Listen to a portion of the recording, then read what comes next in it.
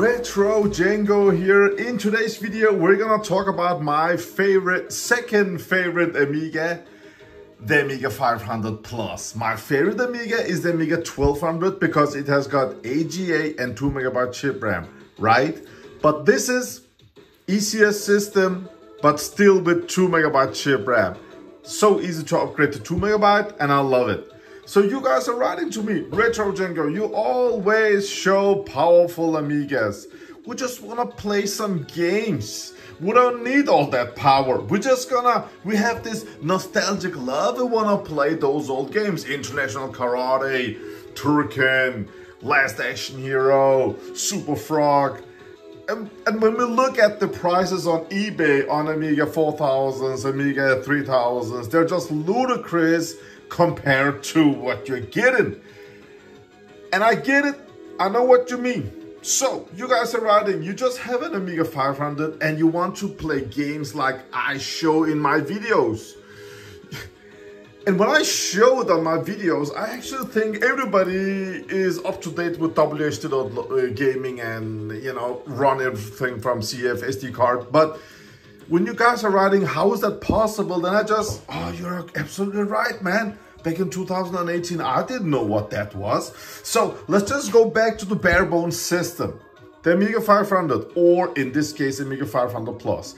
A lot of you guys, you have got an old Amiga 500 somewhere, someplace, and you want to enjoy this. You, you watch my gameplay videos, and you have your old floppies. You have this floppy that's called FA-18 Interceptor and you want to play those old games. So guys, Indiana Jones The Last Crusade.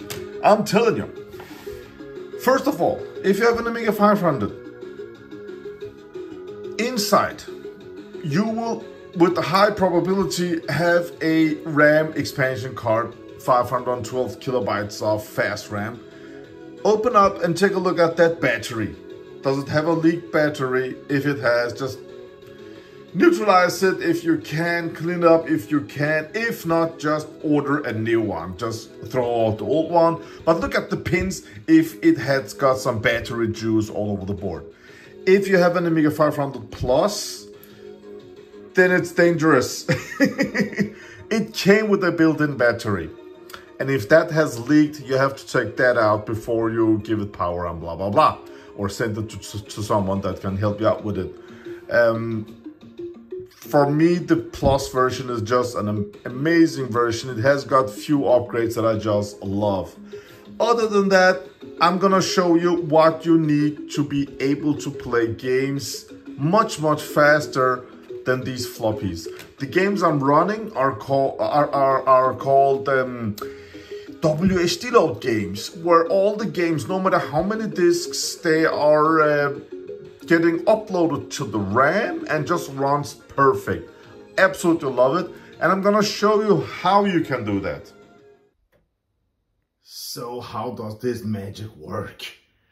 Games, workbench, no, let's click games. All right, guys, so I'm just gonna show what WHDLoad is, okay? As you can see, it just loads up and you get this arcade game selector and you go down to something, you go down to A and it loads. I'm gonna I'm gonna remove the keyboard in a minute. I'm just gonna show you um, what WHDLoad is. So you can see Alien Breed or you can go down to Alien Breed 2 and press enter or press on your joystick. And back in the old days, you had to, uh, you know, switch between different floppy, in third disk 2, she said but with WHDLoad, the floppies gets loaded up to the RAM, and as you can see, it just loads and runs fine. The Amiga 500 Plus came with the 68000 CPU running at 7 megahertz. My recommendation, put in 8 megabytes of RAM, and you, if you have the Plus, put in 2 megabytes of chip RAM. Put in the 68010 if you want, but you guys are writing to me, what do we need to make this kind of upgrade? I'm gonna show you. I'm gonna show you right now, guys, because you have many different options. And um, as you can see here, let's turn off the power. Let's remove this keyboard. And look at the guts of this beautiful Amiga 500 Plus. Okay, as you can see here, as you can see here, we have got Spitfire 500. This card, I have showed it many times. I have reviewed it. I have showed so much stuff. You can run it as a 7 megahertz system. You can run it as a 14 megahertz system. You can actually have it as 4 megabyte RAM expansion or 8 megabyte RAM expansion. Right now, it runs with 14 megahertz and 8 megabytes of RAM. And um, that's pure awesomeness. Other than that, it has got this little adapter so you can uh, put in a compact flash card to it, right? So Secret of Monkey Island, let's go down to something, Shadow of the Beast 2, right? Yeah, there we go. All right, so this is magic. Now, if you ask me, there are so many different ways you, you can uh, upgrade your Amiga 500 dash Amiga 500 Plus. This is for the internal build, my favorite one. Why, you're asking, why is this your favorite retro? well, first of all, we have got the 1 megawatt chip RAM here and 1 megawatt chip RAM here. So we have got 2 megawatt chip RAM. That's a must, that's a given. Good, 2 megawatt chip RAM. This is 4 megabyte plus 4 megabyte, so 8 megabyte fast RAM. Perfect, so total 10 megabytes of RAM. That's that's 10 megabytes is just ludicrous for an Amiga because we could do everything with one meg. You had one megabyte RAM and you could run everything, right? So we have eight fast and two chip megabyte of RAM. They've got the 68,000 CPU still, which means it's highly, highly compatible. You can have, you know, faster CPUs or 30 CPU or 40 CPU they are just not as compatible. You can have CPUs like this that has got a big 040 CPU here. But for gaming, they're just overkill and it's just the worst CPU ever, these 040 chips. Um, so highly compatible. With one switch, it can run at 7 megahertz and the other 14 megahertz. You can go, and I have put a link to this, you can go at GitHub, you can build this yourself it will cost you about 40 bucks to build this. And I have seen on eBay, people are selling these for 80 or 100 or 120. Yeah, depends on the day. But if you build it yourself, materials about 40 bucks, maybe 50 today. I don't know. I had it for a year or two, I think. Um, and I'm telling you, it runs rock solid. First of all, it's perfectly fine for all ECS, OCS, WXT games. Now, this can't run AGA games, so for this system, it runs 99% of all software out there. Okay, that's the first thing. Second thing, no loose cables, no adapters, no wires that goes to the odd CIA or on the Gary, nothing. Because we have so many different internal solutions, guys. You can buy so many different solutions um, for internal upgrade. No loose cables. Okay, the next thing. So small and compact, intelligently designed. This is not designed by a dork that doesn't know what he's doing. This is designed by a great engineer. Everything is just thought of.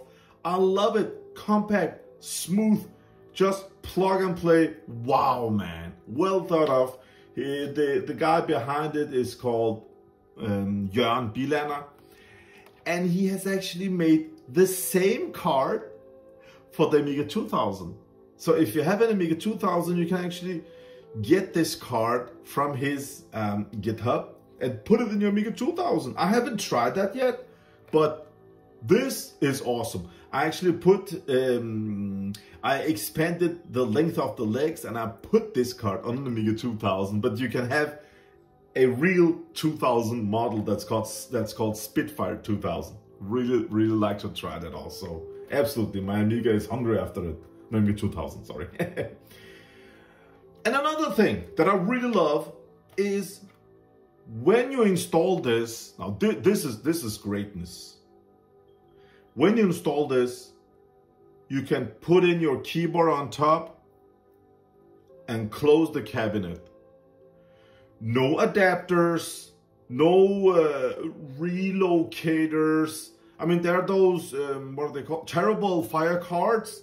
Just, just designed, guys. You have to, how is it? I think you have to relocate it up here. I mean, the card, you buy the card and then you buy another card. You put that on another, I think you have to relocate it over here. so stupid. But if you, it's something with, if you solder the CPU directly on the terrible fire, then you can close it down. So if you don't have an OCD like me that you want eh, all the chips on a socket, then you can close the terrible fire some number, I don't remember. But as soon as I need to put some sort of adapter, converter, something, relocator, I just get turned off. I don't want to mess with stuff like that. I I have man, I have got sent those PCB boards and I, I, I don't want to mess with it when it's like that. So for me, internal build, this is a great, great card. You can also buy something called IDE 68,000, 68K it's called.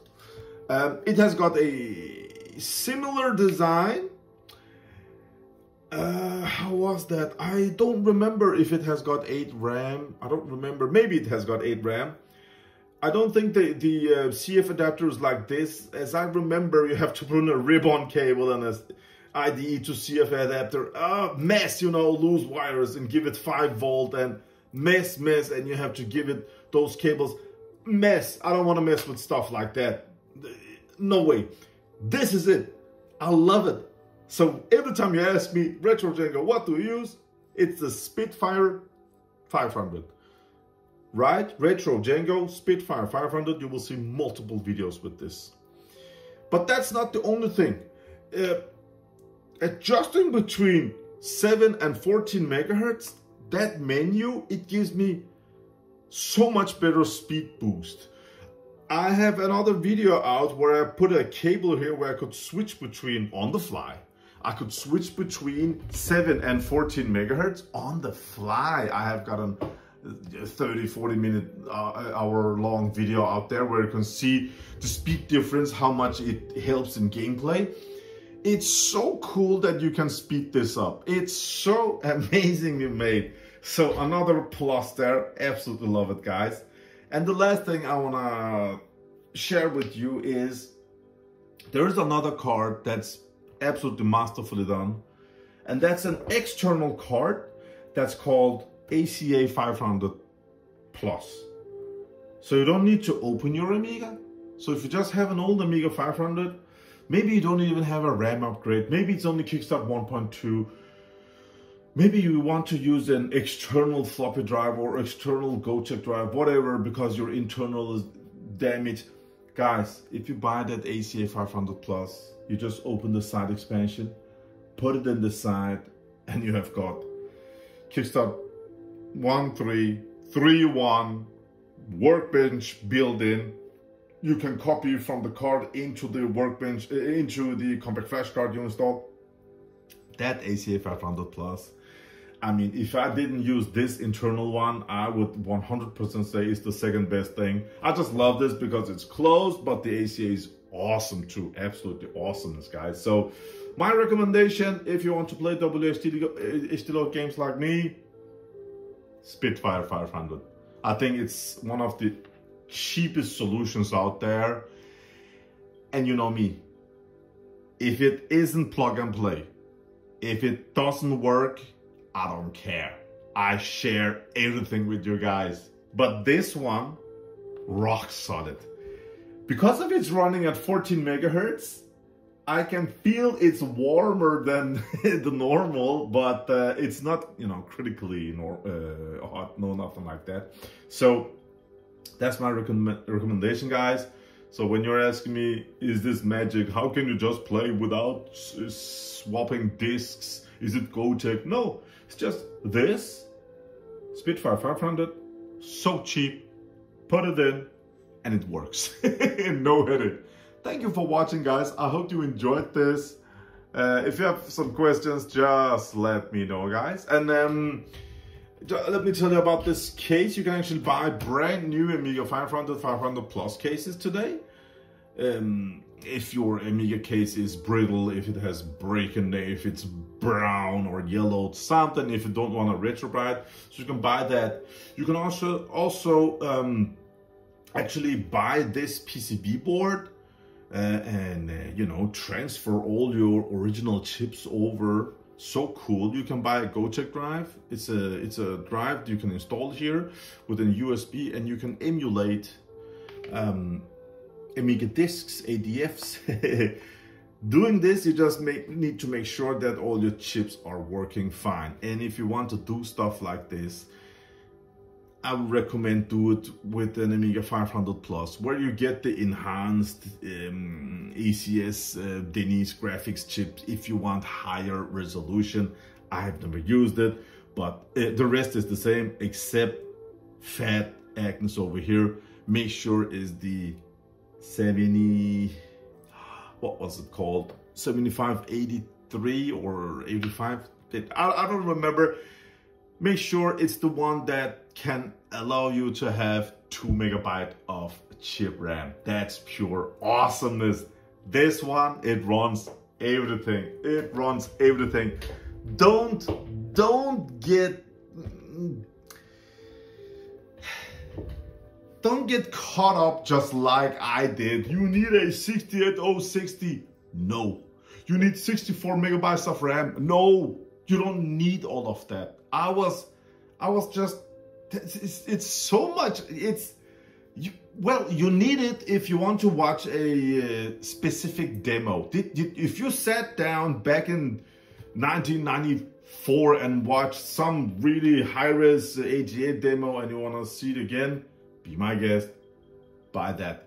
But if you just want to enjoy, if you want to play some Amiga with your friends or show your children your Amiga, you just need this, okay? You need 8 RAM, and that's about it. Isn't it cool, guys? You can have this enjoyment for a very, very low amount of money. There are some people out there that want to push those 68060 CPU boards on you Forget about it. okay. Have a great day out there, guys. I'll see you on my next Amiga video. Retro Cengo out. Bye.